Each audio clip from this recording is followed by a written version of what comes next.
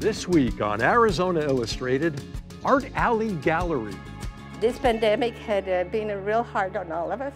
And then I got the idea of creating an art gallery in the alley. Body of work, Nicole Miller. It's made of molds from Michael Jackson's actual body. Pole dancing in Tucson. They're doing something that's good for their body. It is for regular people. And Ellen and Laci. Laci's like that little poem. I have a little shadow that goes in and out with me, and what can be the use of it is more than I can see.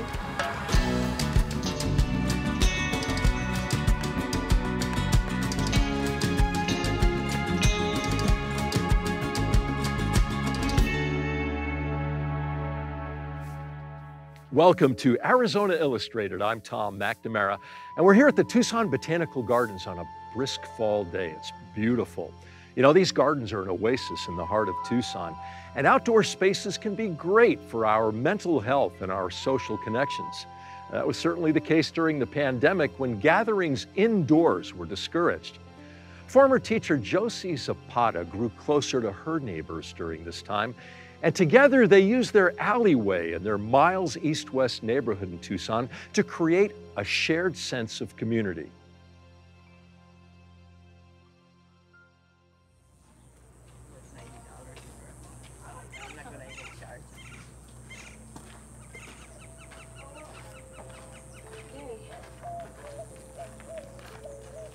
The last five years of my teaching experience, I had the best job ever. I taught a class called Outdoor Learning, and basically uh, allowed me to use my philosophy that I believed in, which was letting children be able to play outside, to be learning from their environment, to respect public spaces, and to be stewards of keeping that space beautiful and that they want to be part of. The alley is a public space and we basically have taken ownership I had lived in this neighborhood for 40 some years, and I have become real close to my neighbors. Rosanna and Luis are one of my closest friends. This pandemic had uh, been a real hard on all of us. Uh, I lost five family members, close friends.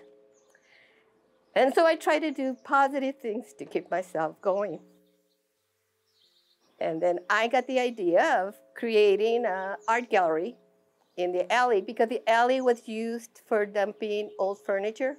Roseanne and Luis were the first one that said, yeah, let's do something with it. And so I was amazed at what they created.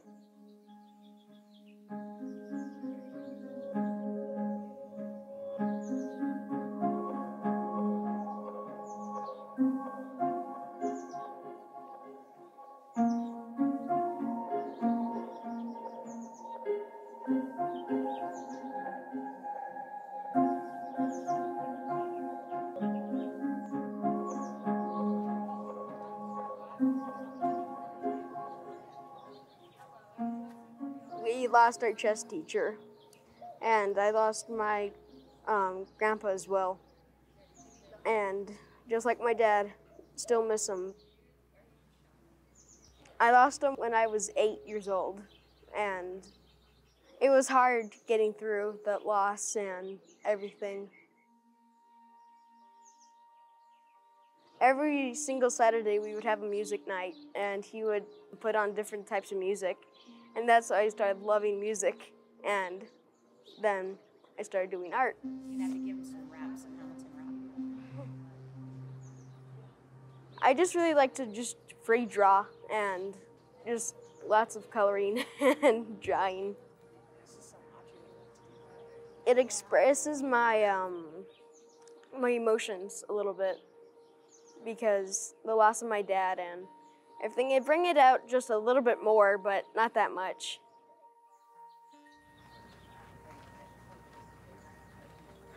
Well, Josie.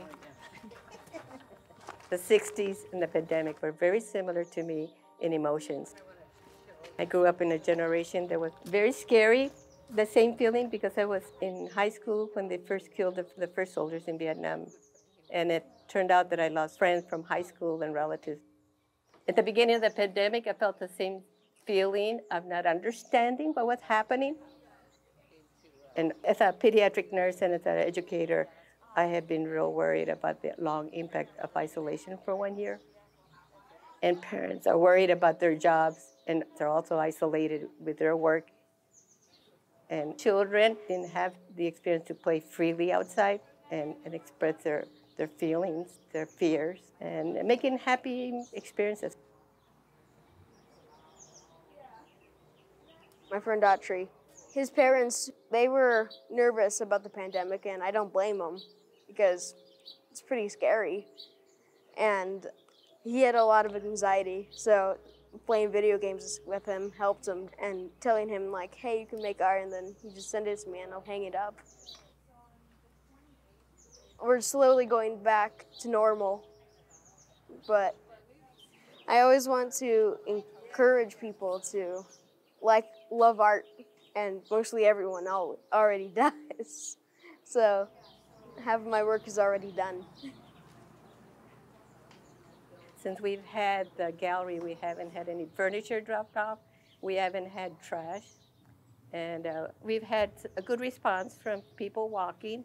And it's um, an opportunity to meet new people, an opportunity to share ideas and feelings. And so it's going to be an ongoing process as long as I am healthy and, and have the energy, we'll keep doing it after the construction's done, it'd be pretty cool, like having a whole entire art gallery alleyway. Just um, like walking through it and hanging up pictures, like or paintings, like saying helpful words to get through the pandemic, and for them to be calm and encouraging them, and that like me, it may be just a little bit hard, but you can get through it.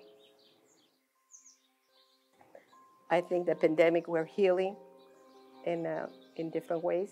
I see a lot of compassion and love and wanting to help. Those skills are not lost in children, especially Luis. He's had difficult losses. And to me, he's my hero.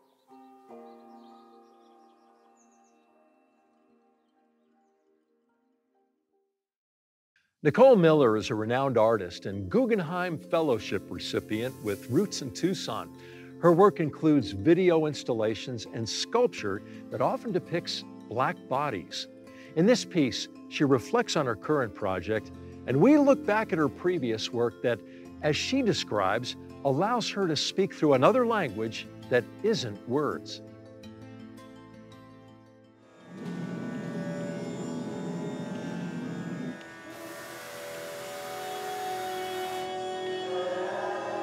Michael in Black is a bronze sculpture that I made here in Tucson. It's made of molds that I got a hold of that were made from Michael Jackson's actual body in the 1980s.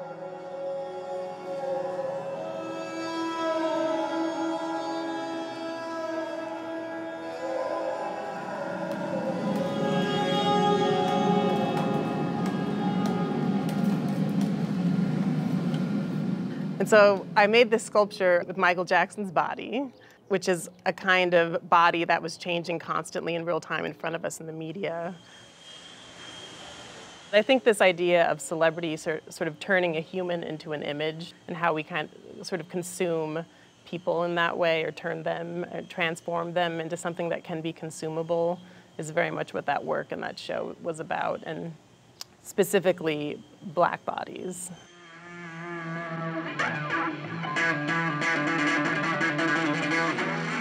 I had made a work called Anthony Aquarius before that. That's a portrait of this man named Anthony Aquarius, who's dedicated his life to embodying Jimi Hendrix. And he had told me that he had sort of decided at the age of 14 to try to completely embody what it meant to be Jimi Hendrix. So he always speaks with a kind of voice that sounds like Jimi. And he learned to play the guitar with his teeth and with his left hand. And so this idea of like embodiment is very much a part of a lot of my work.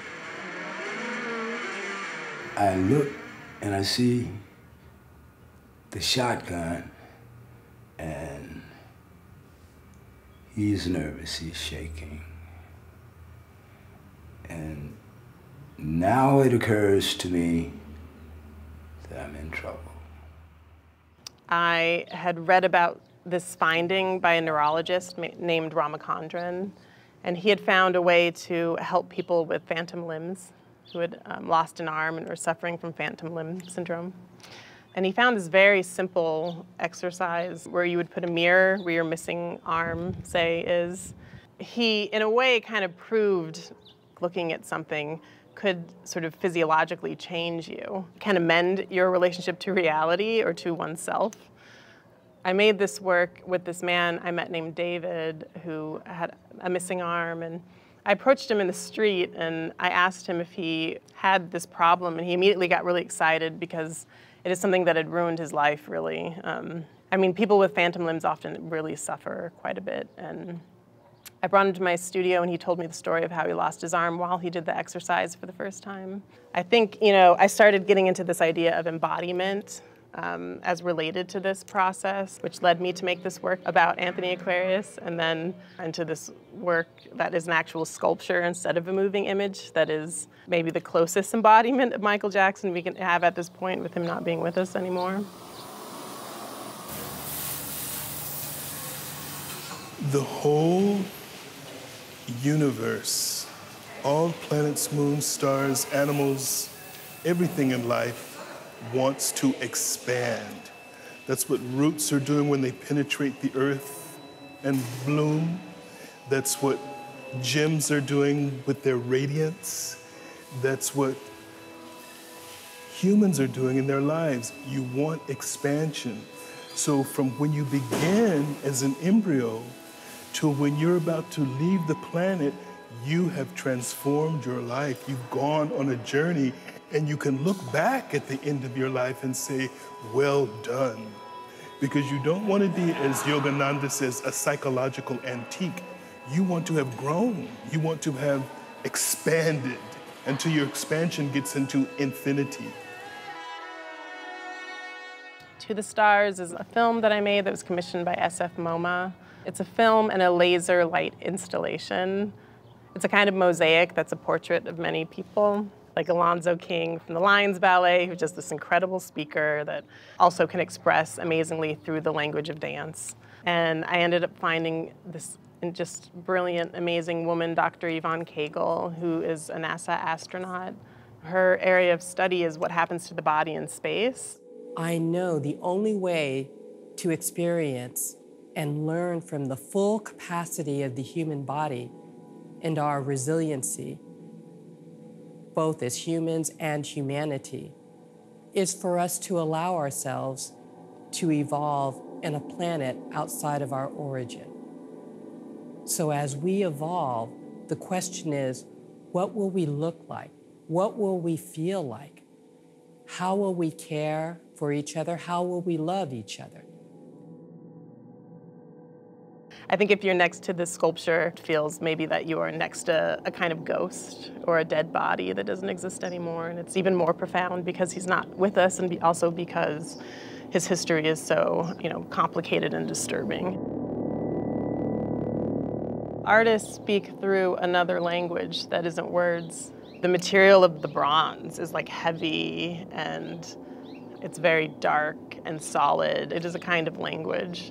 Cinematography is a language that expresses so much emotionally, intellectually, without using words. The lasers that I make are pure light. Light is a means of communication. A lot of what I consider to be my craft is in those languages. The body of work is a kind of conversation.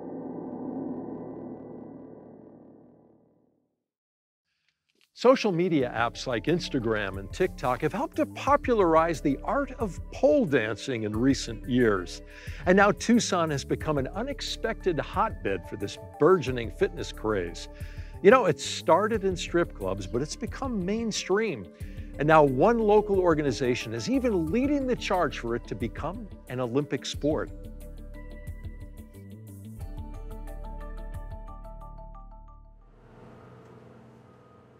It was kind of a dream of mine. And then the building became open, and I decided that I was going to do it.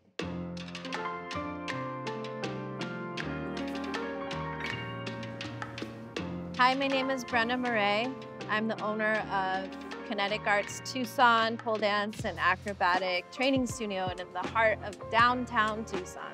So just go ahead and follow along with me. I've been pole dancing since 1998. I started at Curves Cabaret when I was very young.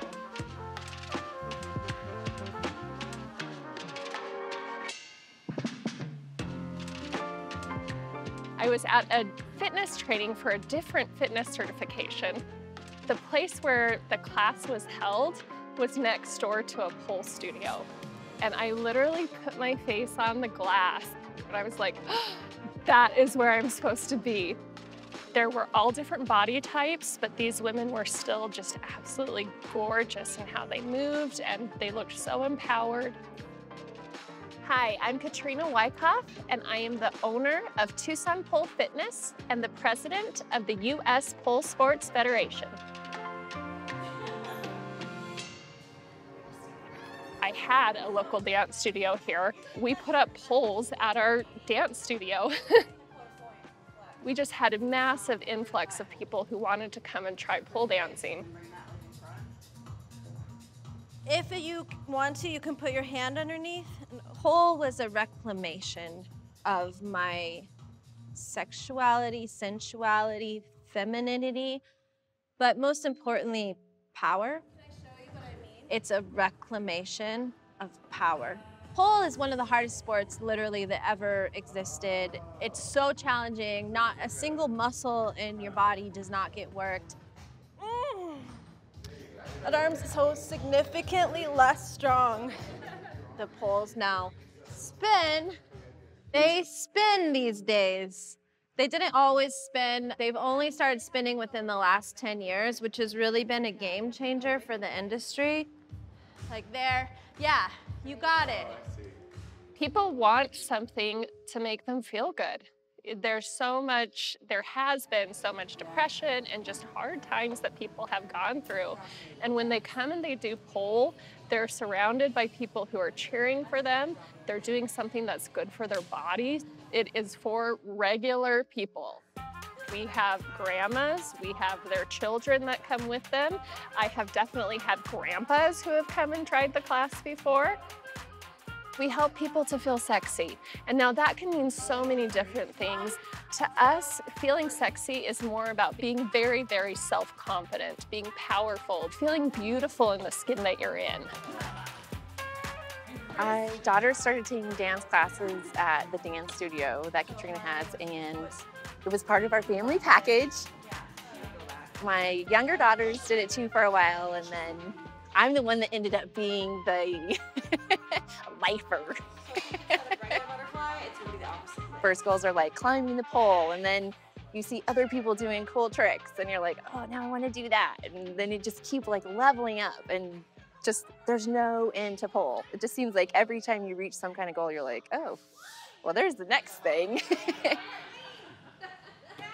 So in 2015, we started competing with the U.S. Pole Sports Federation. I competed with a woman named Brianne McClanahan, and we did a doubles routine.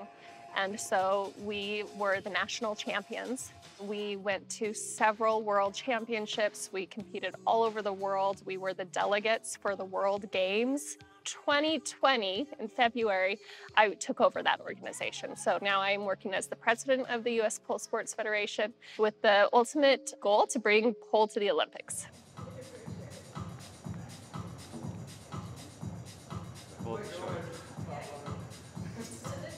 Late 2018 is when I discovered this place, and I discovered it because uh, they were doing a pop-up strip club here and it was like inclusive women men whatever gender. I started doing it and i just never stopped because i loved it so much because it's like i need to do something physical you know in order to you know just for like my mental health but i hate going to the gym and i, I don't like most sports but this sport is so artistic that it uh, it captures my interest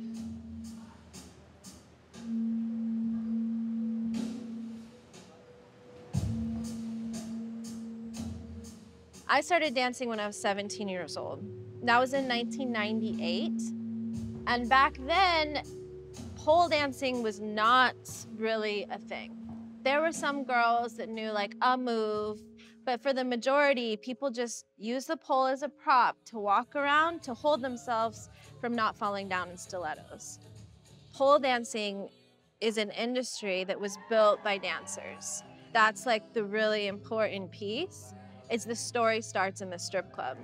We, in and of ourselves, are not teaching stripping here. We're teaching pole fitness, but we we honor and appreciate and realize that this does come from the stripping industry.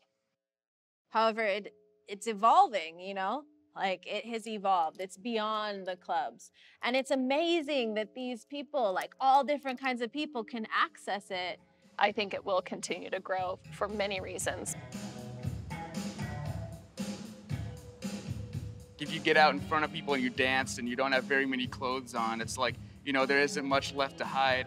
And uh, it forces you into a situation where you have to be okay with that. Besides just body confidence, it's like it's been a way for me to explore like more femininity and uh, things that most of my life I felt like I didn't have a space where I could, uh, you know, explore that side of me.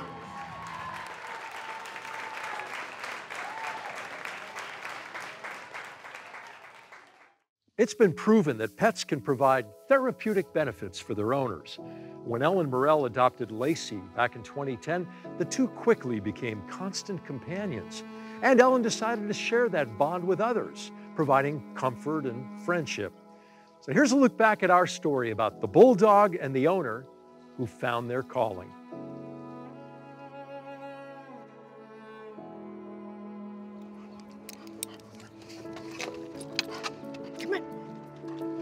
Come on, let's go get the ball.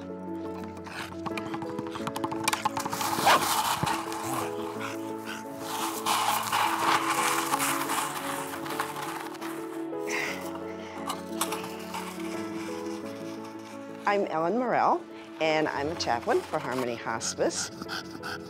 And this is Laci, and she's my therapy dog and goes with me to visit my patients. Come on. And uh, we just visit people and enjoy ourselves. Good girl. Good girl. Hi, Donna. This is Ellen from Harmony. I was just checking in to see how you're doing. You've been through a difficult period, and I hope that you will take a day or two to uh, relax and refresh and uh, rejuvenate yourself. I try to, to check on the diagnosis before I go to see people because sometimes it makes a difference. I have been a dental hygienist, which I did for 10 years. I have been a hmm. planned giving consultant, which was lots of fun. Helping rich people give money away is not a bad way to make a living. And then finally, I succumbed to the call from God and became an Episcopal priest. On my way, when I decided to move to Arizona, on my way here, I had another call that said you need to be a hospice chaplain. So I came and applied and got a job, and here I am. Let's go, go see the veterans. Let's go, come on. You see the puppy, huh? See her? Laci, can you sit? Now, can you wave to little boy? Wave. Good girl.